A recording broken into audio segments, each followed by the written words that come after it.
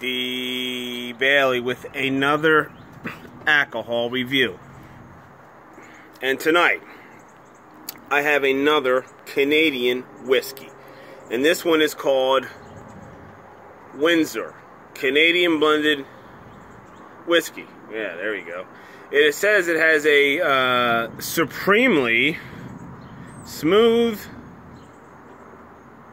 whiskey made with waters born in the clear, clean Rockies of Canada. Canada, sorry. Oh my God, that's a Canada. Canada, sorry.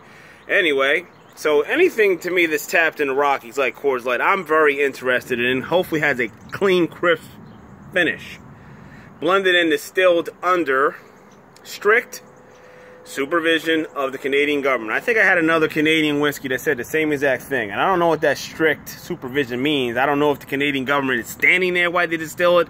I don't know if they're smelling the grains, tasting it, whatever they're doing. But I, I guess it's fantastic. I'm not really sure. So look at this. It says this one. Wow. Wait a second. Wait a second. Wait, wait a second. Made with only premium grains in glacial, glacial, glacial born waters. I don't know why I'm having problems pronouncing things tonight. And I have not had any of this whiskey.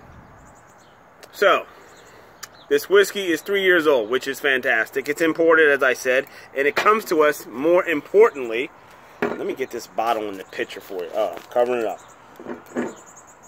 There's the bottle, Windsor Canadian whiskey. It comes to us at 40 percentage of alcohol by volume, which is aka 80 proof. Now I'm gonna get. Holy, are you kidding me? You got you kidding me? I can't even open this. All right, there we have it. I put it into my legs. I'm gonna pour this in a glass, and you're going to take a look at the color. The color is what the color is. I hope this is a sleeper, and I hope it's smooth. And I will put the bottle right there. Can we all get in there? Yeah, we can. It smells like whiskey.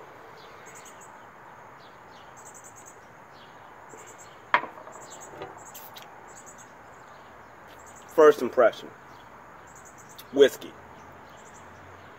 I can taste that it's three years old. I believe it's got to be aged in oak whiskey.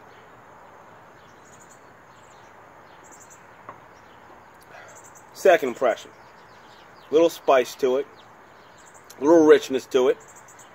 Now, I think to me, I could be, hey, to me it tastes a little bit like Johnnie Walker Black.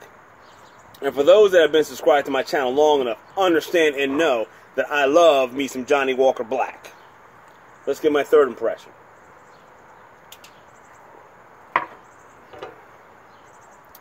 Oh yeah. You first taste taste that whiskey. In the middle, you can taste that rich flavor, man. As it starts going to the back of your tongue, you can taste that rich flavor. And a little bit of spice, a little bit of twang. And the finish is smooth. And I am a fan, and I will buy it again. Now, as I've said before on my channel, I am on a quest to find cheap alcohols that are fantastic. And this bottle will set you back about $10.99, which to me is very good for a 750 milliliter bottle. So I suggest, wait, whoa, whoa. There's a big W on it, and it says, I don't Yeah." can I get a focus? Supremely smooth. And I must tell you that I absolutely and unequivocally agree. I like this whiskey. It has some dragons or something on the front of this. Well, maybe that's a strict supervision of the Canadian government. I don't know what that means. It is a product of Canada. It is from Canada, but I'm not. Not that I have any problems with Canada. It is what it is. I'm just from Jersey.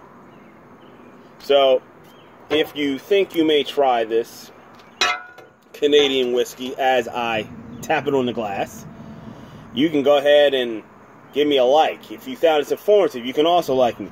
If you just want to like just because, you can like it just because. And if you haven't subscribed, you can click that subscribe button. Why wouldn't you? I have, what is this? I think this is 300, video 341. I could be wrong, but it may be. I typically do this on Thursday because it's what I do. I do this for you because Thursday is the day before Friday, which is the weekend eve. Something like that. So, please go out and give us a try. And remember, be responsible. This is a high AC alcohol. I'm drinking this straight up, aka neat. You don't have to. You can mix it whatever what you want to.